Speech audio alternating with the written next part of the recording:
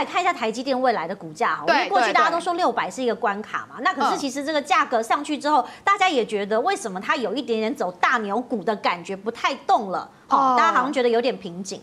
刚好脸书来了，它改成 Meta 了，AMD 又给他新订单了，所以这是一个新开始。那其实呢？呃，上次我记得来两个礼拜之前来的时候，我们就看好这个比特币涨。我记得那时候来节目，比特币快要六万块，现在比特币最高前昨天是六万八。那我们来看一下台积电，今天股价是六百零三、六百零四，到底还可不可以买？所以呢，师会就把它算出来。通常我会我会以过去三到五年的本益比，好，你来看这个图来看就知道说，在二零一八年的时候，台积电的股价二二七哦，那时候它获利十三块。本一比是十六点八，可从二零一九、二零二零到二零一二一来看的话，它的本益比大概维持在二十五块哦，二十五应该不是二十块，本一比在二十五上下。由此可知哦，如果说台积电，我们把它以本益比二十五来看，其实它的它的低本益比是二十三到二十五，所以它二十三，像今年它股票了，以台积电今年已经七次从五百六到六百二，五百六到。来来来来回回，这个就是它的，就是看到这个本益比区间，就是二十三到二十五之间。那如果它到六百二，它的本益比今年是二十六，那本益比是看获利哦。那它今年的获利是二十四块，所以你可以看它的季。上一次我记得来节目两个礼拜之前，我说台积电的季线是六百。然后呢，台股的季线是一万七千一百，我还记得很清楚，两个礼拜以前。那今天呢，全部都突破了，嗯，就台股已经站稳了季线，好，那台积电也站稳季线，所以这个季线六百就是二十四乘以二十五，刚好就是六百。所以呢，本一比六百是刚刚好，叫做它的合合合合合理价位哦。然后我们来看它二零二二预估它的获利，因为台积电最近做了涨价嘛。就是它涨十到二十趴的晶圆代工，那如果它涨价的话，明年的预估它的获利是二十六到三十，再乘以二十五，就是我上面写的六百五到七百五哦。那所以呢，今天哈，如果台积电可能跌到六百，今天如果没有黑天鹅、黑黑天鹅这些事件发生，大家也许可以想一下，哎，来做波段台积电是对，就是哦，你只要看到六百或者五百八就买它，它涨到五百八，突然一天跌十几块，可能美美股不好，像昨天美股不好那个。比如说好了，要要不要买台积电就看 AMD 跟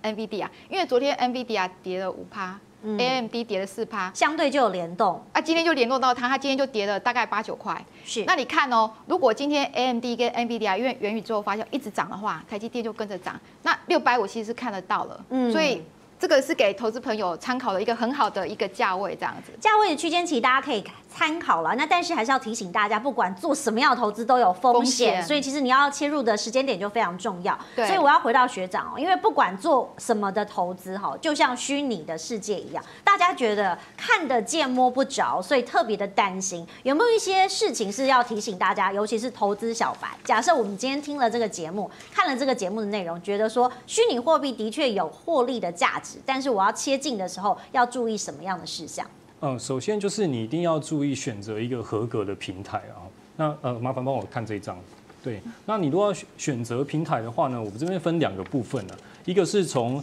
台湾金管会有纳管的八家，那另外我们可以看全国呃全球前几大的交易所。那我我们先一一来讲，台湾这边金管会它纳管八家，不是说哦，它保证你不会亏钱，或是保证你钱放在里面是没有问题，它是说它有纳入防洗钱的规范，也就是说，呃，里面至少它不会有一些脏钱在里面流动这样。那可是呢，金管会它有强调，就是它不保证说你在里面的钱是安全的，它也不保证说你在里面如果买了虚拟货币，那个钱会不会被盗走，金管会是没有管到这个的。OK，那可是这几家他们自己有在自主做一些东西，譬如说你放在里面的钱，他们有跟银行做信托，所以呢，其实假设这个平台倒了，银行也是会把钱赔给投资人。好，那再第二个是你如果把这个钱放在这个平台里面的新台币拿去买虚拟货币的话呢，这些虚拟货币所谓的虚拟货币的资产，它也有做第三方的保险，这些平台自己去做的，所以平台如果倒闭的话，第三方的保险呢，通常也会赔给你。那这是台湾的比较放心的部分，所以一般的投资人可以从台湾的